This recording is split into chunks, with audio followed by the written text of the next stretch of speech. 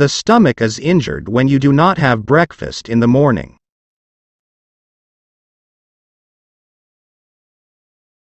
The kidneys are injured when you do not even drink 10 glasses of water in 24 hours.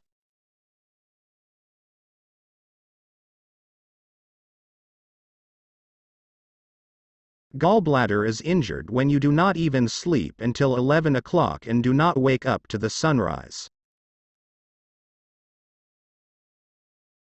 The small intestine is injured when you eat cold and stale food.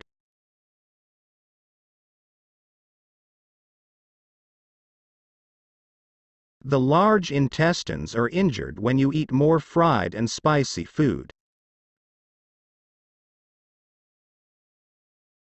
The lungs are injured when you breathe in smoke and stay in polluted environment of cigarettes.